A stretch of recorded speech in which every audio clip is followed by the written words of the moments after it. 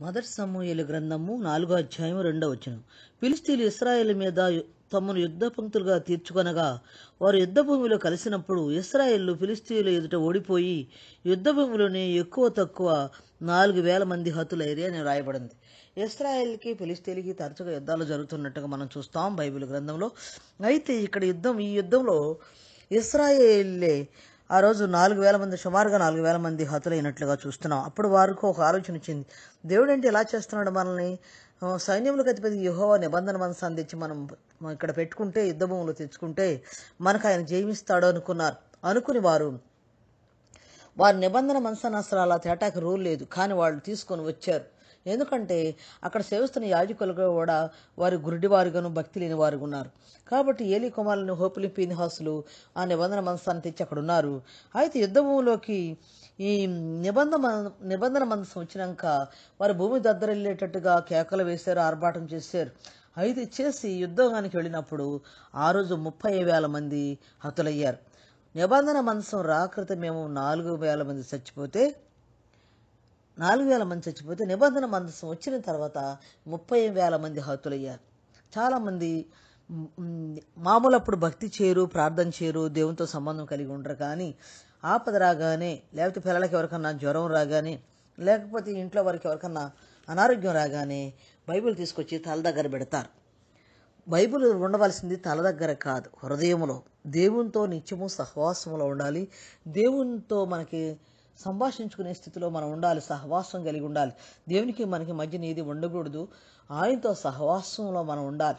సహవాసంలో మనం ఉండాలి కానీ బైబిల్ తెచ్చి తల దగ్గర పెట్టితే ఏమీ అవ్వదు. ఏం ఉపయోగం లేదు. విశ్వాసం ద్వారా పెట్టుకుంటారంటే కరెక్ట్గానే ఆపత్కాల ముక్కులే కానీ దేవునితో నిజమైన ఇది కాదు. భయముతో భయముతో భక్తి అది భయమెత్తి చచ్చిపోతామేమో జబ్బు తగ్గదేమో భయమెత్తి బైబిల్ అక్కడ పెట్టుకోవటమే కానీ దేవుని మీద ప్రేమతోనూ దేవుని పట్ల భక్తితోనూ కాదు.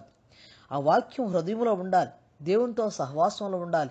దేవునితో మనం మనతో దేవుడు మాట్లాడుకునే అనుభవం ఉండాలి. అప్పుడు మాత్రమే మనకి ఏదన్నా ఆపద వచ్చినప్పుడు శ్రమ వచ్చినప్పుడు రోగం వచ్చినప్పుడు మన త- మన వల్ల కాని సమస్యలు మనకు వచ్చినప్పుడు మనం మోకరించి దేవుని యొద్ మొరపెట్టి విజయం పొందగలం.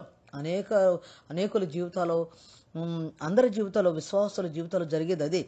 అయితే అలా కాకుండా బైబిల్ని తీసుకొని వచ్చి తల దగ్గర పెట్టుకున్నంత మాత్రాన ఉపయోగమేమి లేదు అలాంటి భక్తిని కూడా దేవుడు అంగీకరించడు.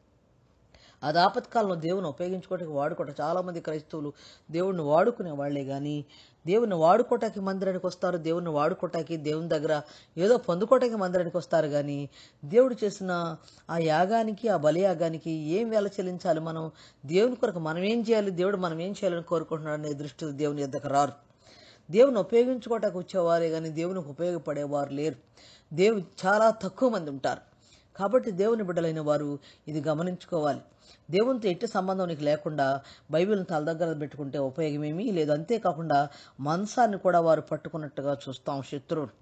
వీళ్ళు ఏ నిబంధన మనసు అయితే వీరిని రక్షిస్తుందనుకున్నారో ఆ నిబంధన మనసం దేవుడు అక్కడ రక్షించలేదు. ఎందుకంటే వీళ్ళ అలాంటి వీళ్ళ బ్రతుకులను మార్చుకుని దేవుణ్ణి వారు హృదయకు రమ్మని ఆహ్వానించినట్టు వాళ్ళు విజయం పొందేవాళ్ళు.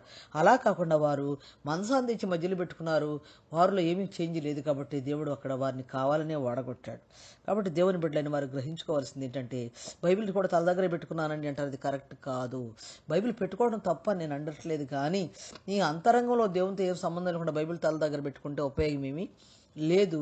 ఒకవేళ నువ్వు ఉపయోగించుకున్నది కాసేపు ఉపయోగమైన ఆ తర్వాత నీకు దేవునికి ఏం సంబంధం ఉండదు కాబట్టి అది కరెక్ట్ అయిన విధానం కాదు. దేవునితో సహవాసంలో నిత్యం బైబిల్ చదువుట్లో ప్రార్థించుట్లో దేవునితో సహవాసం కలిగి దేవునితో గడుపుటంలో ఆశ్రయించిన ఉంది కానీ అలా కాకుండా దేవునితో నీకు నిబంధన ఉంటుంది లేకపోతే సహవాసం ఉంటుంది సంబంధం ఉంటుంది కానీ అలా కాకుండా ఊరికే బైబిల్ తెచ్చి అక్కడ పెట్టుకున్నందువల్ల ఉపయోగం లేదు కాబట్టి దేవుని బిడ్డలైన వారందరూ గ్రహించుకుని పై పై భక్తి కాకుండా భక్తిని లోతుకు నడిపి లోతుగా భక్తి చేయాలని దేవుడు కోరుకుంటున్నాడు.